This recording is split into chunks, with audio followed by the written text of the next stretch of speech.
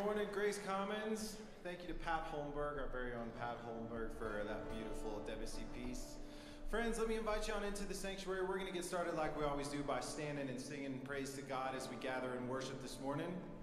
Yeah, stand on up. I'm going to read some scripture for us as we are called to worship today. We're going to hear from Anthony about being set apart and consecrated as the people of God. And so let me read you this passage that many of you have no doubt memorized. From Colossians 3, it says, Therefore, as God's chosen people, holy and dearly loved, clothe yourselves with compassion, kindness, humility, gentleness, and patience. Bear with each other and forgive one another if any of you has a grievance against someone. Forgive as the Lord forgave you, and over all these virtues put on love, which binds them all together in perfect unity. Let's sing and invite the Holy Spirit to speak to us this morning.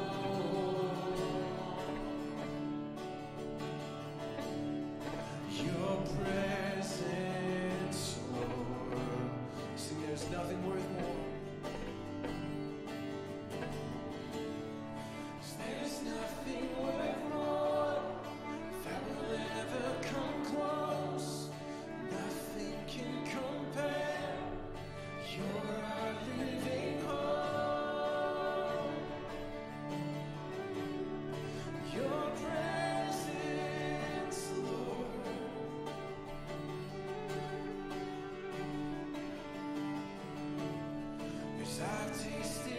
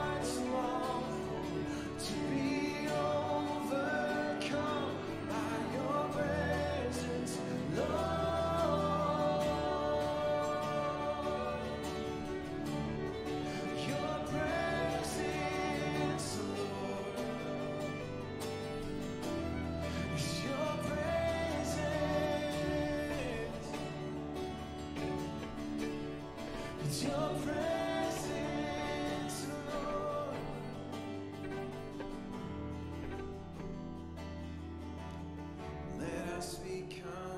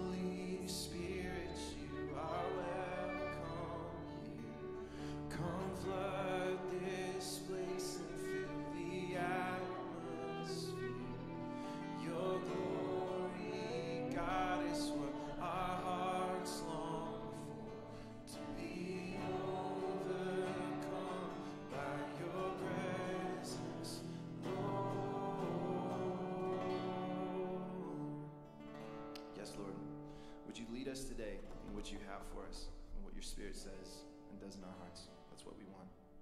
Amen. Friends, let's continue singing.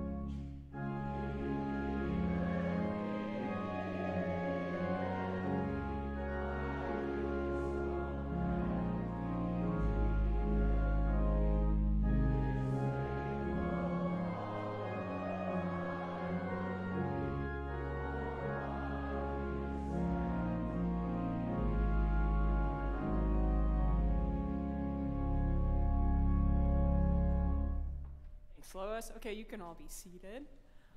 Well, welcome. Good morning. My name is Kelsey Walega. I have the privilege of serving here as one of the co directors of Young Adult Ministry.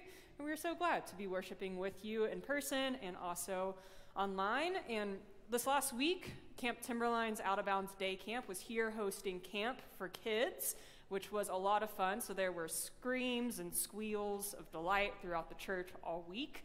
And beyond kids got to uh, play sports, dance, be crazy, and beyond that, they also got to hear about and experience the love of Jesus. And it was a bit of a blast from the past for me because many of you might know I used to be a counselor at Camp Timberline and then later a director at Camp Timberline.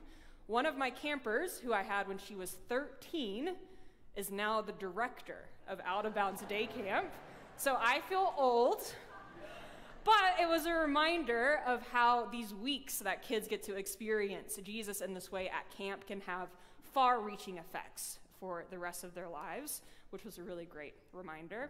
And I don't know how else to transition to this next thing. So, the other thing that has far reaching effects books. Books have far reaching effects. There's a used book giveaway today in the atrium of books that have been donated and also duplicates from our library. So, check that out after service today. And then next week after service, we will be celebrating Emily Kreider and her family as she leaves ministry here at the church. I can think of no better way to celebrate the children's pastor than ice cream at 10:30 in the morning. So, next week be sure to tell Emily and her family how grateful you are for her and for her ministry here at Grace Commons. And then later that day, we'll be at Faith Day at the Colorado Rockies. So if you're interested in joining us there, You can find out more information in the bulletin or online to get your tickets.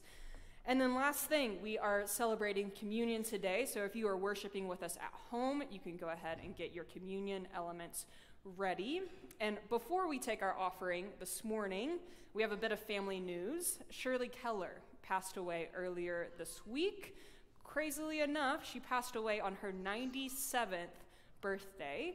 Uh, but even with a long and good life live. be sure to keep um, her family, Andy, Jody, the rest of the Keller family in your prayers. The memorial service is still pending. And if this is your first time visiting with us this morning, please do not feel the need to give, but you can fill out a Connect card at the bottom of your bulletin and then put that in the offering plate so that we can get to know you better. And for those of you who would like to give, there are envelopes in the back of your pews or boxes in the back, and you can always give online. And this month, uh, while the choir is taking a bit of a break, we will be hearing from different musicians while we take the offering. And this morning, we get to hear from our very own Pat Holmberg.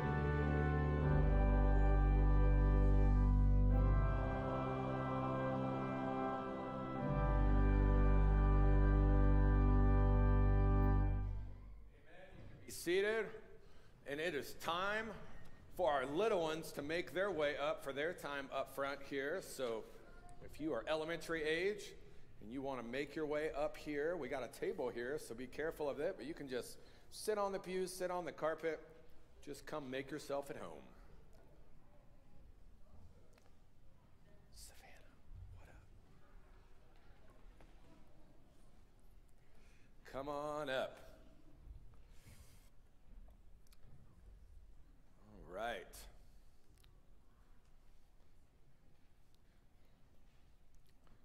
Well, good morning, everyone. How's everybody doing? I have a very important question. Who has ever been on a hike before? Raise your hand if you've ever been on a hike. Okay, most of you. What is your favorite part of a hike? The bears? Wow. I need to hike with you. That sounds exciting. The bears, yeah. When you get to the top. Woo, that can be breathtaking, right? To see something beautiful. What else? Lucy, you have a favorite part of a hike? You like all of it? What else? Anybody ever take like eat a good snack on a hike? Does your mom or dad bring you a good snack? What's a good snack to eat on a hike? Chocolate bars. Chocolate bars. Chocolate bars and bears. Sounds fun. All right, Lydia, what do you like to eat on a hike? Candy. Oh yeah. My my wife brings like little gummies and they are ju- they'll just get you through that next little stretch of the hike if you eat a gummy. Anybody else have a favorite part of a hike? Favorite snack? Well, everybody stand up. We're actually going to take a hike right now. Everybody stand up. We're going to get in a line. I like how Leah and Molly are holding hands. They look like good friends. So why don't everybody get behind Leah and Molly in a single file line? Just kind of everybody line up back here. Here's what we're going to do. You're going to hold hands too. That's great. We're going to march around the table. Uh, let's see, seven times. Okay? So every time you go by, I want you guys to touch that little golden tassel and just move around this table. Ready? Molly, you lead them, okay? They're following you guys. Ready, go. Touch it, and then just come around the table. Now come this way, Molly. Come around the table this way. Everybody, walk this way. Let's hike around the table. Touch the little golden tassel on the table. Keep going, Molly. How many times is that? There's two. Congregation count when Molly touches it. Okay, here we go. Molly's about halfway through another lap here. All right. How many times is this going to be? That's three. Keep going. Keep going. I know it sounds silly, but we're going to get all the way to seven. Molly's making another turn here. All right, this is four. All right, keep going. I like how we're holding hands. We got a little assembly line. All right, Molly, we got another turn here. How many is this, guys? Five. Two more. Here we go. Keep going. Keep going. Here comes Molly. This would be number. Nice. Nice. Keep going, Molly. Everybody touch it. Uh oh. We got a speed bump. All right. Here we go. Molly's taking her last turn. Here it comes, number. Okay, everybody keep going until you touch it. Yeah, keep going. Everybody's got to touch it. Everybody's got to touch it. Come on, Graham, you're the caboose. Get there, buddy. And once you're done, Molly, you can just go ahead and sit back down. Graham's the caboose. All right, now everybody sit down. Once Graham, Graham, touch the little tassel. You're the last one. All right, now everybody can have a seat again. So I want to tell you a really quick funny story, and then I'll tell you why we did that. So one time I went on a hike in Tennessee. It was a beautiful place, lots of mountains. And my son Hudson, he's 10 years old now, but he was like six at the time. And we were going to go on a hike at a national park. And the sign said, You really should be careful when you take this hike. There might be what? Bears. There might be bears. It felt like we were at like where Yogi Bear lives. It didn't feel very dangerous, like lots of families. And so Hudson said, Dad, we should not take this hike. The sign says there might be bears. And we said, Hudson, it'll be okay. There are not going to be bears. We'll be fine. Um, but Hudson read the sign, and Hudson took the sign serious. But we just told Hudson, we think this will be okay. So we went on our hike. We ate our chocolates. We ate our gummies. And then I saw a little rustling in a bush right off the trail.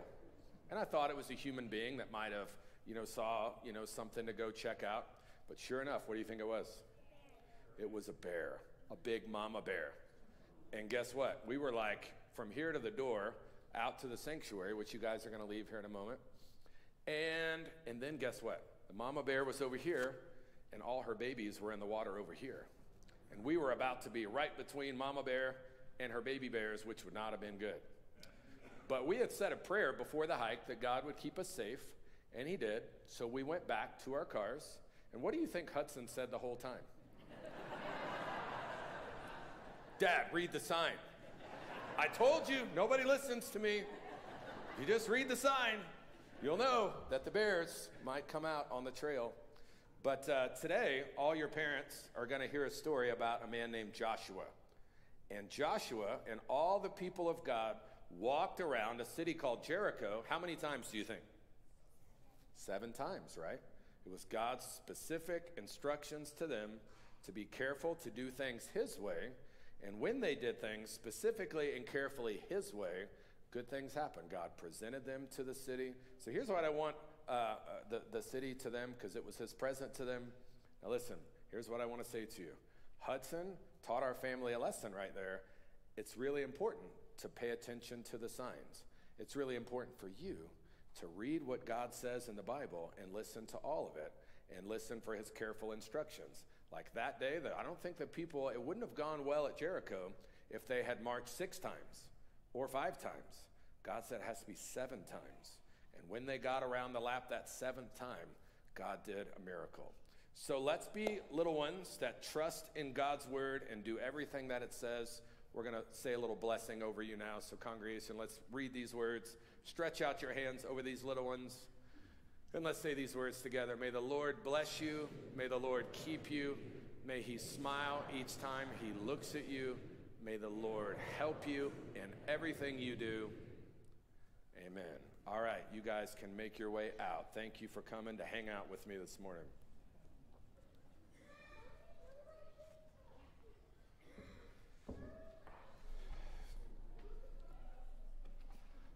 Bears, chocolates, and gummies. All right. Would you, in honor of God's word, stand with me? We're going to say these words together. I'm so glad that we're going to say the words from Joshua 1 8. This is the book we're going to look at today. Let's say these words as a reminder if you're visiting today. We do this every week right before we open up God's Word to be reminded of what it says about itself. So, what I was just sharing with the little ones about being careful to listen to everything God said, this is where that mentality comes from. Let's say these words together. Keep this book of the law always on your lips, meditate on it day and night, so that you may be careful to do everything written in it. Then you will be prosperous and successful. Amen. You can be seated. Well, I have a question for you. When you get to heaven, I, I just think about all the wonderful meals that are going to take place in heaven. When you get to heaven and you're eating one of those five star meals that Jesus and his hospitality team prepares, and you find yourself sitting next to a guy named Joshua do you want to say to Joshua, I always meant to read your book? Um, I meant to get around to it. I know it was somewhere in the Bible, but yeah, tell me what you wrote. Uh, lest you find yourself in that scenario in heaven, we're going to look at what Joshua wrote tonight. But uh, I will tell you right up front, I'm covering too much ground today. We're going through a, a, a book called the Jesus Storybook Bible which just kind of makes it clear that all these Old Testament stories whisper the name Jesus.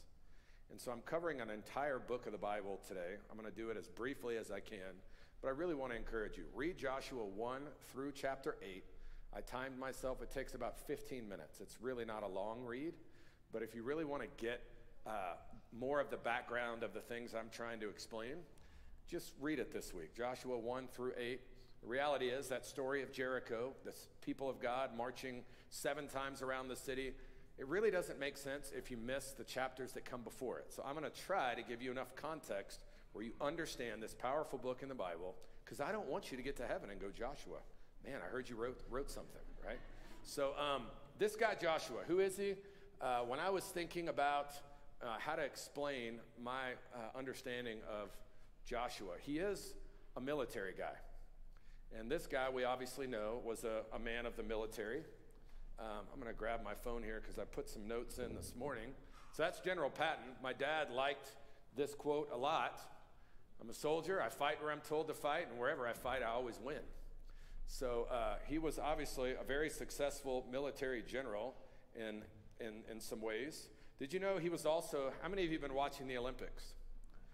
Olympic athlete. He was in the, he was a, in the pentathlon um, event, freestyle swimming, fencing, uh, equestrian, show jumping, pistol shooting, cross country running. So this was a very interesting guy. Uh, not surprisingly, went to Virginia Military Institute. Um, one of the things that's fascinating about General Patton, um, he once saved five kids from drowning. I thought that was a pretty cool story. Kind of wired in him even before he was in the military to kind of be a sacrificial guy. His grandfather was the mayor of LA. His other grandfather fought in the Civil War, so it was just kind of in him, public service. Um, really, you know, when you read out, you know, his most famous maybe military conquest was, you know, the Battle of the Bulge. But after that, World War II, um, he led his army into Germany, where they advanced with great speed, in this article that I was reading, and they captured 80,000 square miles of territory. So, all this to say, if you're going to understand Joshua, his assignment from God was to advance and conquer territory. So, you might think of Joshua, you do have to think of him a little bit like you would think of a military figure. He is the guy that takes the baton of leadership from Moses. I'm going to show you that here in just a moment. Um, but you have Genesis, Exodus, Leviticus, Numbers, Deuteronomy, and then you have the book of Joshua. So it is your sixth book of the Bible. All those first five books, they get you from Adam and Eve, you know, into Noah, into Abraham, Isaac, and Jacob, and the 12 tribes of Israel come. And then you get to Moses, and they get carried away into slavery. Moses leads them through the Red Sea. But now we're at the starting line of this land that God promised to give. And Moses dies, and God selects his leader to take possession of the land that he said, I've always promised to give you. So Joshua is the guy that assumes that mantle of leadership, and it is going to require some military conquest. Uh, but as you just saw demonstrated by the little ones, God was leading all of it, and it was always his way of doing things that needed to be done. Now, if I, you know, General Patton was great, um, but you know that that pride, that I can do it, that wherever I fight, I always win. Joshua really wasn't that way. Joshua would have said, and this is no disrespect for to General Patton, I've got a lot of respect for him, but I am going to differentiate Joshua from General Patton. He would have never said, wherever I fight, I always win. He would have said, wherever God fights, we always win. It's his stuff. I'm just following his lead. I'm not fighting. In fact, we did we rarely did any fighting. It was always God. And that's part of why he is this really special figure. He always followed God's way of doing things. Now, that's the mouse of Narnia named Reepicheep. Raise your hand if you know who Reepicheep is. That would be Joshua to me. Uh, is loyal to Aslan. He will fight you for the name of Aslan. And he will draw his sword. He's little, but he had the heart of a champion. And when, when, when things often don't go well in Narnia, this is C.S. Lewis' fictional series, kid series where animals talk. And this is maybe Aslan's most loyal servant. He's not big, but he's mighty and he is loyal. And my favorite moment for Reepicheep is the voyage of the Dawn Treader. All the kids are trying to get to Aslan's land. Aslan is the lion of God. He's the emperor, the son of the emperor over the sea, and the kids and the, and the animals are trying to get to his land, but it's going to mean crossing an impossible body of water. And it gets hard, and everybody takes a vote, and Reepicheep gets outvoted and they notice Reepicheep. I mean, they all say, We got to quit. The waters are too rough. It's too choppy. The wind. We're going to die out here. Let's go home. And they notice Reepicheep cutting the lifeboat rope. And they say, Reap, we got to go home. It's too rough. We can't. He goes, Then go. But I'm not going. Because I said when I started that I was going to Aslan's land, and I meant it. And if the ship turns around and quits, then I'm still going. I'll go in the lifeboat. And when the lifeboat breaks apart because of the weather, then I'll swim. And when I swim, I'll get tired, and eventually I'll just be able to doggy paddle. And eventually, after I doggy paddle and my little mice feet can't paddle anymore, then I'll drown. And when I drown, then I'll die. But when I die, I will die with my nose pointed at Aslan's land. For he's my Lord and he's my king. Now, Joshua was a spy, and he got outvoted in his 40s, he was 43 years old, historians tell us, when Moses sent a delegation of 12 spies to the land that God had promised. And only two guys, Caleb and Joshua, came back and said, Not by might, nor by power, but by my spirit. They had read these you know, verses. This mentality was in them, and they said, Look, I know it looks bad, but we can do it. Why? Because God's with us. Two guys, 10 to 2. He was the Reepicheep like spy that brought back a report that said, I know that these guys are bigger, faster, and stronger than us, but I also know there's a God in Israel who just led us out of the Red Sea, and if he promised us to give us this land, we can take it. But the people trembled at the report of the other 10. So now, at the beginning of this book, here's his quote in Numbers, the, in, in the first five books of your Bible. Don't be afraid of the people. This is Joshua's quote. We will devour them. Why? Their protection is gone, but the Lord is with us. That sounds like Reepicheep. Aslan's in the camp. What are you scared of? We can take him. But he got overruled. And so he and Caleb, they're still alive. Now, fast forward, he served in Israel's ancient CIA when he was 43, that spy operation. By the time he takes the mantle of leadership, he's 83. So, for those of you who think there's no life after retirement, Joshua's life really didn't begin until he was in his 80s. And this is frequently the story of the Bible. Never, until you get to heaven, your life isn't over. There's always something you can do for God. He gets tapped on the shoulder at 83 years old to be God's military general. So there's your first five book of the Bibles. Now we're in uh, Joshua. Here's the last chapter of Numbers. Before we get to Joshua, take the son of Nun, Joshua. Don't miss the underlined phrase a man in whom is the Spirit. That's a reference to the Holy Spirit. Here's his qualification the Holy Spirit. Lay your hand on him. This is God talking. Make him stand before Eleazar the priest and all the congregation. Commission him in their sight. Now, I don't even want to put this president's picture up because I don't want you to get lost in if he's a Republican or a Democrat. That's not the point. I don't push politics on you. But I, I am fascinated by all the presidents and their pedigree and their qualification. This particular president, he will remain nameless, that's a pretty good resume. Ivy League grad, director of the CIA, served in the military in a significant war, eventually was vice president, then president. Those are credentials. Look, all that just to make this simple point. After the death of Moses, the servant of the Lord, the Lord said to Joshua the son of Nun, his aide, Moses, my servant, is dead. Now you, all these people, cross over the land. I'm about to give them to the Israelites. Actually, before I get there, let me just go back. What is his qualification? This is the point I was trying to make here. The Holy Spirit is his credential. That's it. What does he have? Not an Ivy League degree, not director of CIA, even though he was a spy. No. Joshua, he's my guy. Why? The Holy Spirit's in him. He'll do what I say, he'll follow me because I'm in him and he's in me. So that's your guy. Moses passes away. This is who gets chosen God's hand-picked succession. So Moses dies. Now God says, Get ready to cross the Jordan into the land that I'm going to give you. Now, listen to this. I'm going to give you every place where you set your foot, as I promised Moses. Your turf, your territory will extend from this desert to Lebanon, from the great river, the Euphrates, all the Hittite country to the Mediterranean Sea in the west. This is God saying the territory is large. Now, Joshua was a great leader, yielded to God, full of the Holy Spirit, but do you know how much they eventually will take? 10%. God had a big plan for them, a big set of land. But eventually, when they start intermarrying with other tribes and they just kind of get content, they just stop the conquest. Now, 10% was still a lot. And that's what people argue about still to this day that land in Israel. So, Joshua is the book of the first time that God made good on his promise to give that land to the Jews. And so, Joshua is the appointed leader to start taking that territory. He says, No one will be able to stand against you all the days of your life. And this is just a wonderful promise for any leader. As I was with Moses, I'll be with you. So, this is where he's different than General Patton. Our general was confident in his own ability to lead. Joshua stood on one thing that promise right there. If God's with me, who can be against me? I'm going to stand behind him and just do what he says. And when he did that, good things happened. So I just had this question in my heart all week. As a pastor, you as a Christian, there's just nothing more important than God being with you. Don't lean on your degrees. Don't lean on your intellect. Don't lean on your financial wizardry and your ability to read market trends or whatever it is that you might place confidence in. God being with you.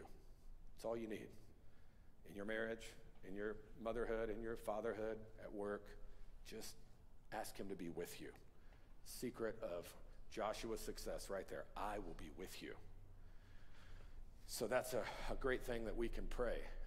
Uh, some of you may recognize that almanac from a very famous movie called Back to the Future 2. Marty McFly. One of the mistakes that Doc Brown would tell him you should not have smuggled that sports almanac back in time because you could bet on every game when you're in the future and you come back with all the sports resort, results from the last, you know, 30 years and make yourself a very rich man, it gets in the wrong person's hands. You know how the story goes. And, but that to just be an illustration of what we read every week. I have you read this because having a Bible in your hand, according to Joshua, is like having a guarantee a guarantee of success. An open Bible, a man or a woman in their living room with coffee and an open Bible, the guarantee of success. The guarantee. Right there. I didn't write it. Be careful to do everything written in it. Why? Because you'll be prosperous and successful. Maybe not in all the ways that you're thinking right now of prosper and success, but I'm going to lead you through this conquest and you're going to win if you do everything I say. So, Christians need to remember that. An open Bible, the battle cry of the Reformation and Martin Luther. Sola scriptura, only scripture. Doesn't matter what a human says, matters what God says. This is his book. That's part of why Joshua was so successful. Huge part. Because he just had this mentality that he passed on to us. Now, that is a guy that I really, really love. Raise your hand if you recognize that guy. You need to know who he is, only a few of you. That's Gary Haugen. He started a ministry called International Justice Mission. Doesn't he look like Clark Kent, you think? he, has a, he has a cape that he puts on that nobody sees, like Superman. He started a ministry after working for the United States Justice Department when he saw gross injustice in the world. Played football at Harvard, doesn't look like it, wears this flat top makes himself out to be some ordinary guy. But when I met him, I said, You're not ordinary. You're a superhero. What moved his heart was this horrible, horrendous injustice sex trafficking. That little girls would be taken against their will into the most horrible thing, maybe in the history of the world. So Gary said, Something's got to be done. I got a law degree. I'm going to go battle to get these girls home. With not guns, not you know, kind of a, a violent way, but with my degrees and with all that I can do, rallying all of America's support, we're going to go into these countries, take these girls into safe houses, give them their lives back, give them jobs, give them, you know, hope and a future. It's impossible to really talk about the story of Joshua without talking about a woman named Rahab. We don't know her story, but we know God rescued a prostitute from the city of Jericho. She lived embedded in the wall of Jericho. Who knows what her story is? Maybe she got put into that line of work against her will. Maybe she didn't know what to do. But we see something in the heart of God that He would say, That's my daughter. I'm taking her back. She's coming with me. And what ends up happening is before they take Jericho, Joshua will send spies, because he worked in the CIA, remember? So he believed in kind of the spy mission. Two guys go into the city and they only meet Rahab, and Rahab is kind to them, and she hides them. When the military of Jericho finds out these spies are there, they're like, I think they went to Rahab's house. And Rahab lies on behalf of these two spies, hides them in a roof, and says, All I'm asking for in return is I want to go with you because I think your God is God.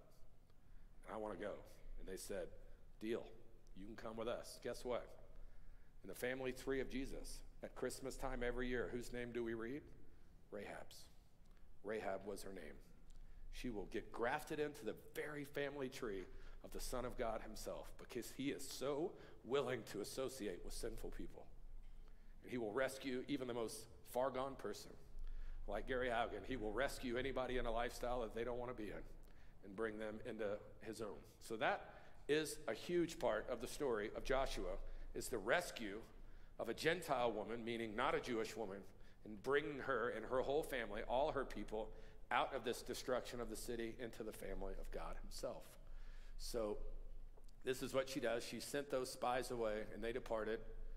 And this was the deal. We'll know which house is yours when we see a little scarlet rope, which foreshadowed the Passover.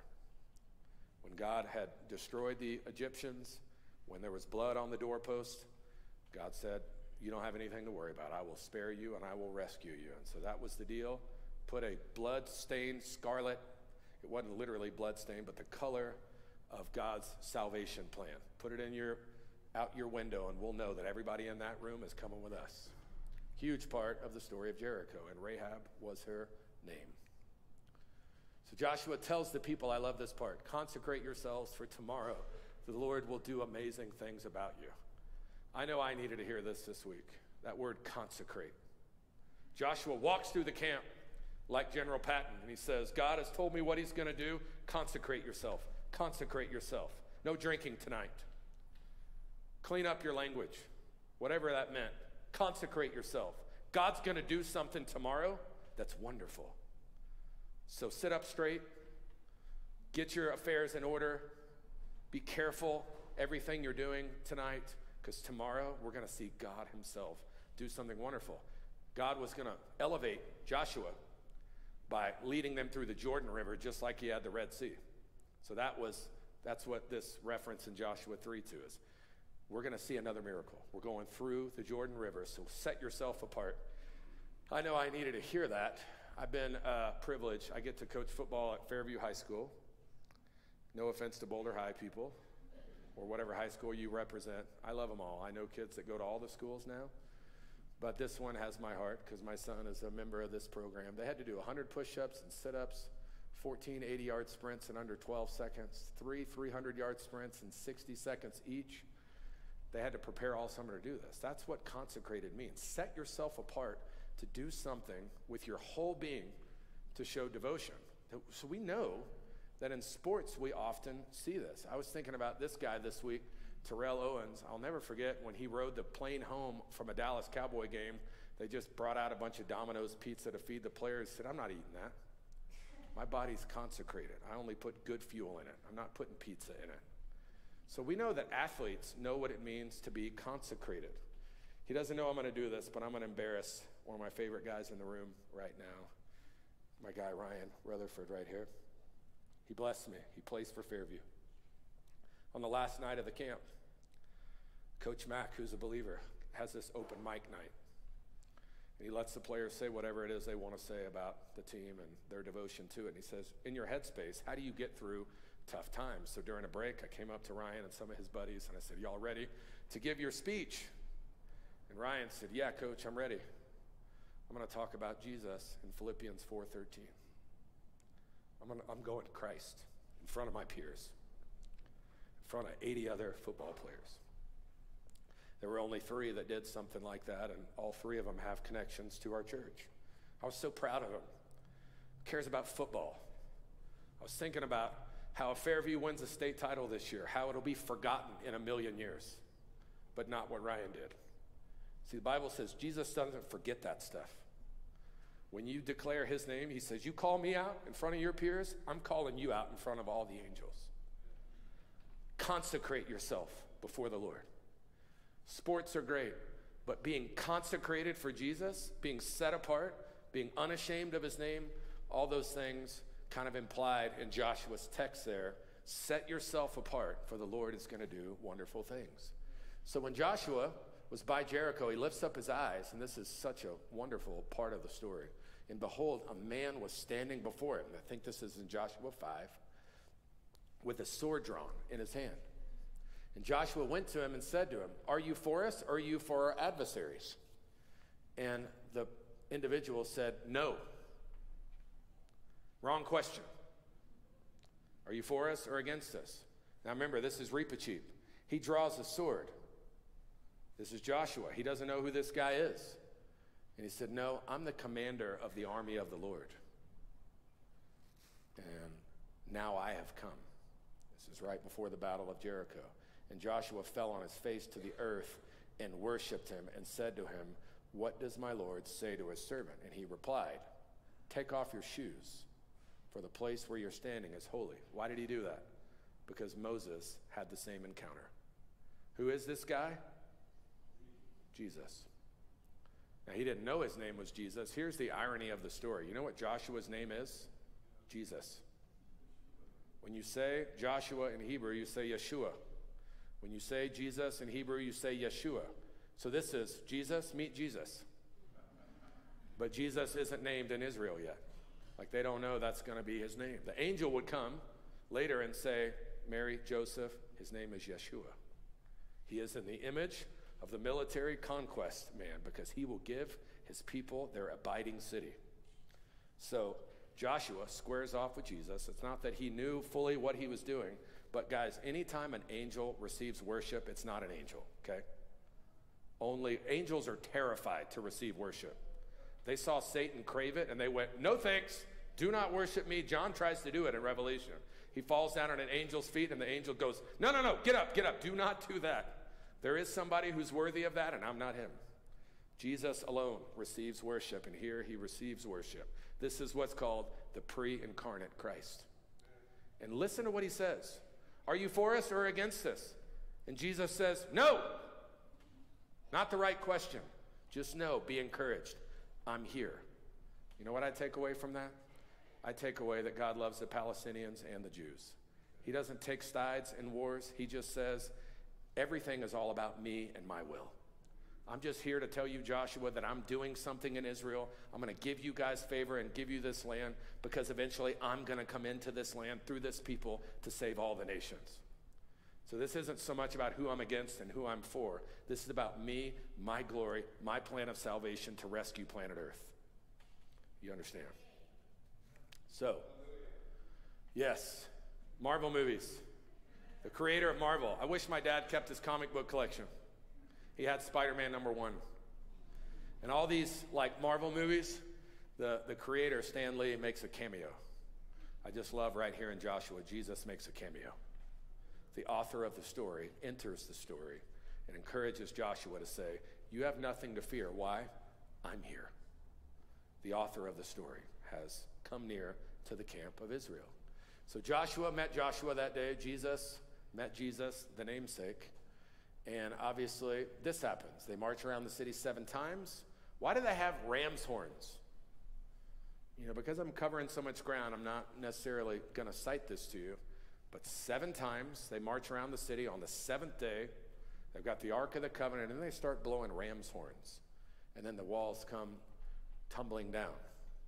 See, I've delivered you, delivered Jericho into your hands. All the fighting men march around the city. Do this for six days. Have seven priests, God's number, carry the trumpets of ram's horns in front of the ark. And on the seventh day, march around the city seven times with the priests blowing the trumpets. And when you hear the sound, a long blast on the trumpets, have the whole army give a loud shout. Then the wall of the city will collapse and the army will go up, everyone straight in. Now, I showed you that a couple of weeks ago. We'll come back to it. All the sevens. The ark is right in the middle. Precise instructions. People in front of the ark, people behind. Basically, all this symbolizes if you put me in the center, you listen carefully to all my instructions. It couldn't have been 12 times, five times, no, seven times. You do this my way, all you're going to need to do is blow the ram's horn and shout, and the city's just going to be yours. Did Joshua do anything? Any fighting? You see any bow and arrows being shot here? No, God just does it. The secret of his success was just following God and keeping God at the center of the camp. And that ram's horn, by the way, remember Abraham and Isaac? When he doesn't kill his son on the altar on Mount Moriah, we talked about this a few weeks ago. A ram's head gets stuck in a bush. So, forevermore after that, they would use these ram's horns to be reminded that God will one day provide the sacrifice. He provided the ram for, for Abraham to not sacrifice his own son, and we will remember that story forever by blowing these ram's horns. So, all of that, the scarlet robe is symbolic. The blood, we're about to go to the communion table. Only by the blood of the Lamb, only that color could save Rahab. Bible says without the shedding of, of blood, there can be no forgiveness of sin. Rahab was doing exactly what God had instructed her to do. So, a few applications and then we're done. Consecrate yourselves. We've already talked about this, but I'm going to give you a, a demonstrated way that you can do this. Wonderful things may be in store in the Boulder Valley. I need your help. I don't want to be like General Patton as a pastor. I love him, I respect him. Don't hear me wrong. But I don't think I can lead this church by myself. I think the one thing I need more than anything else is the help of God Himself. I don't want to be anything but a leader that points you to the help that God provides. We got some holes. I put a picture of that because all of Ryan's buddies and all the teenagers in Boulder matter a great deal to me. And we're short youth workers right now. We can hire them, we just got to find them. We're short a college ministry staffer right now. We're short some people on the children's ministry. Consecrate yourselves on Thursday if you're able. At noon, we're going to intercede for these positions. I don't know where to find them. I don't need to know. God knows. We need Him to bring them to us so that we can reach the teenagers, the children, the college students at CU for Christ. So we're going to pray in the chapel, noon, this Thursday. If you're able to fast a meal, if you're able to fast all day, do it. Consecrate yourself. The Lord wants to do wonderful things.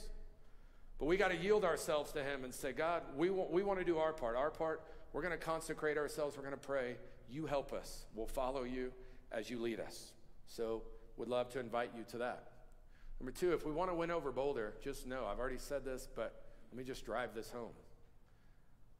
If we want to reach the people of this city, and many people here don't know Jesus, it's not going to be because we build bigger buildings.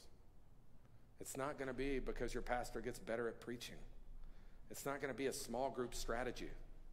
Those things are important, but the most important thing is the presence of God Himself. Joshua won because God was there.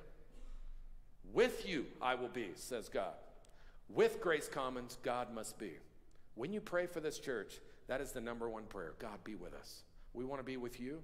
Nobody but Jesus will do. We need your very presence here at this church at all times. I love that guy because I love Jewish people. And when I think about the Holocaust, my head and my heart hurt. And I know Churchill played a role in freeing the Jews from that captivity.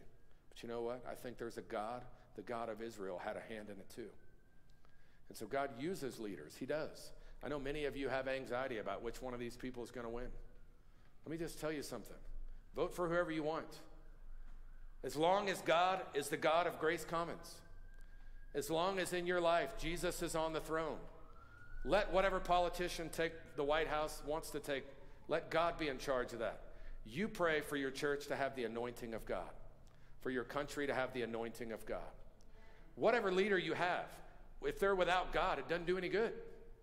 So you pray for the anointing of God to be on your country, for the anointing of God to be on your church, for the presence of God to be in your home, and good things will happen. Put the anxiety to rest and put it all, put all your eggs in the basket of the near presence of God, like Joshua did. Carefully following all of God's instructions is a huge part of this. Now remember, the guarantee of success is the Word of God. I want to be a church with an open Bible. We don't get to make up our own rules. We don't, we don't need to. God's rules are perfect. Everything He says, I want to follow it. So follow me as I seek to tell God every day only Scripture for us. Whatever we do, we're just going to listen to your word and trust everything it says. Finally, make sure you've booked your reservation to the city that Joshua won. Book your reservation. I Hilton for years. I've been thinking, man, my kids may one day get to go stay in a hotel in outer space. Y'all heard about this? There are people that are smart that are trying to build hotel space. Disney has fake versions of that where you get to eat, you know, Disney World up at the top and it looks like you're in outer space. And I, I think that would be cool. You know what the best thing ever, though, is? This story foreshadows the name of Jesus. This every story whispers his name. Who is Jesus in light of the story of Joshua? He's the one that has given you the opportunity to book your reservation in the city that is abiding, not Jericho, not this little promised, you know, Middle Eastern place called Israel. That was the down payment on the abiding city we call heaven. Jesus, the reason he is named, in my opinion, Yeshua, in Joshua's honor, is because he would be the one that would come to give you a conquest into a greater city, but not by fighting, by laying down his life.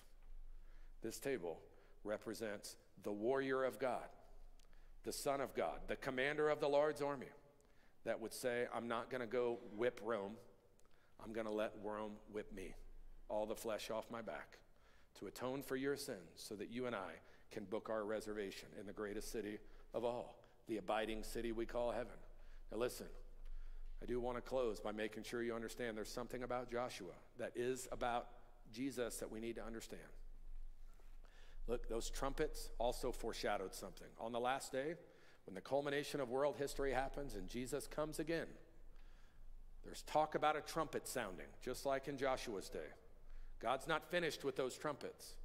When Jesus comes again, there will be a trumpet sound, and the abiding city will be presented to you, not because you fight for it, because the battle's already been won. Say amen if you agree. Now, listen, the next time he comes, I want you to know this. The next time he comes, they're not putting one of those on his head, friends. The next time he comes, he will be more in the issue of Joshua, in the image of Joshua. Nobody's going to spit on him. Nobody's slapping him. Nobody will mock him. Nobody will do anything but bow their knee, is what the Bible says, at earth's rightful king. That comes from England, the crown of jewels and all that. I love going there because I, my, my mind goes straight to Jesus. All the crowns of heaven are in his honor. So be encouraged, friends, that sometimes in the world it looks dark. Man, this world, where is it going? What's happening? Blah, blah, blah. Listen, that's where it's going. A king will take his rightful place and present you and I into the city. But how did he do it? Right here. If the ushers will now come forward, communion. Uh, ushers will come forward. Verse I want to read to you as we prepare ourselves for this. We're going to get a cracker here in just a moment. I haven't said this to you yet, but it needs to be the DNA of our communion experiences every time we approach this table. This is what the Apostle Paul says about communion. Everyone ought to examine themselves before they eat of the bread and drink from the cup. Meaning, there's not one person in this room, no offense to you. I'm not trying to offend you, I'm just telling you the truth. Nobody earned what Jesus did, nobody's worthy of it. John cries in Revelation when he sees that nobody can open these scrolls. Oh my goodness, what are we going to do? Nobody can go to heaven. And the angel says, Don't cry. The Lamb of God has triumphed. You can come in not because of what you do, because of what he did. And so Paul says that's not something that you're flippant about.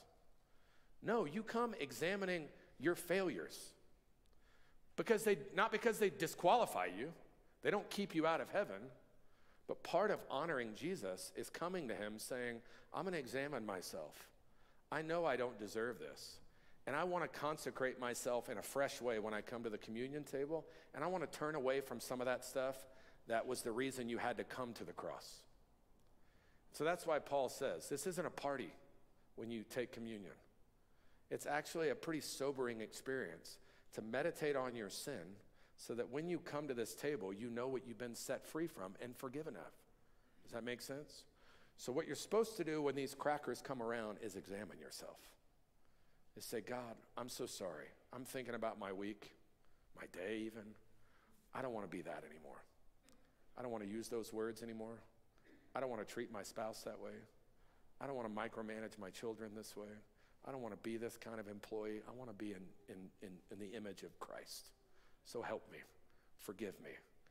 And friends, that's a huge part of this. Let's experience the Lord's Supper together, friends. Cracker, save it. We're going to eat it together. When it comes around, just hold it.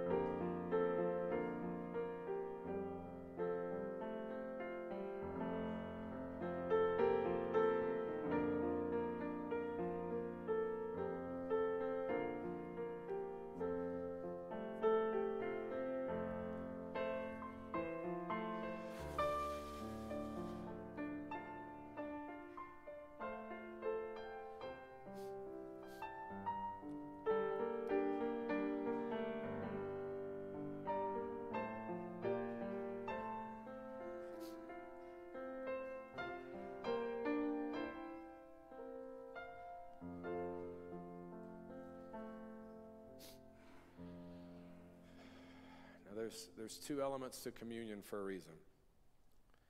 Because some of the great heresies in the history of the church are that Jesus didn't have a body. That's false. That's false. Something happened to a physical body. His body was physically tortured on our behalf. And so the bread represents the human body. He's fully God and fully human, right? So this bread represents what happened to the human body of Christ. Let's eat it together.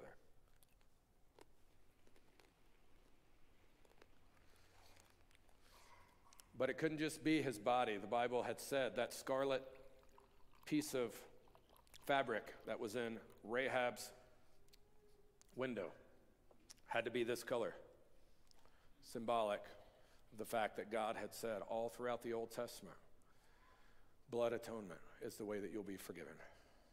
And so Jesus said, Take this cup, drink in remembrance of me. It represents the shedding of blood, which is the forgiveness, the guarantee of your forgiveness of sin and mine. We're not going to take this together. You're free to take this at your own pace. After you've had a moment to reflect, let's drink in honor of what Jesus has done for us through his blood.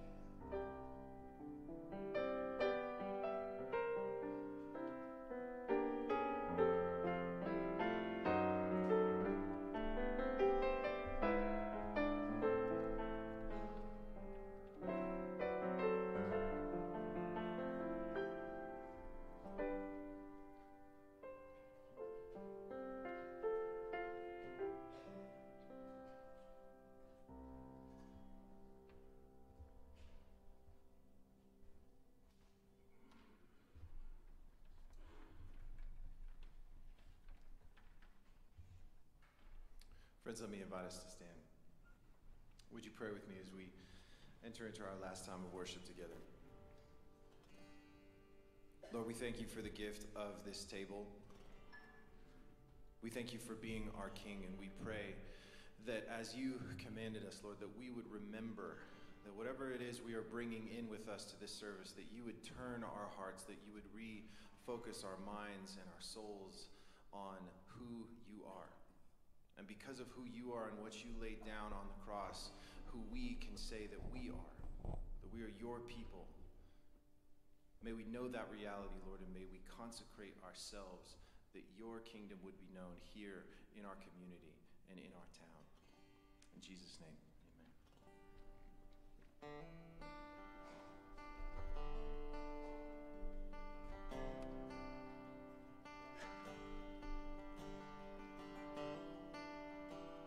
Sing this together. I am chosen.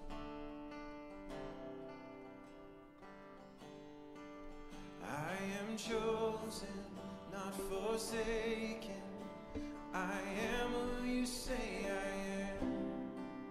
You are. are for me, not against me. I am who you say I am. I'm chosen. I am chosen, not forsaken. I am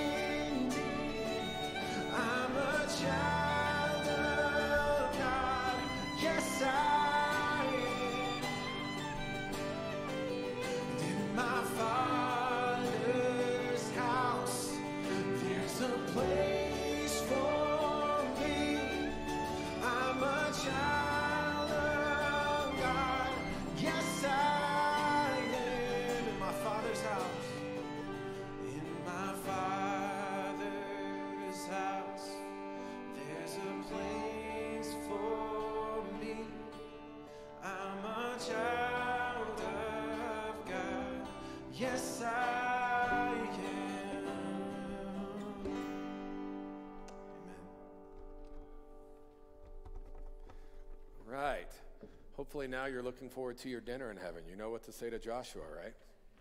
Um, couple of things. One, our prayer partners are here. They always are.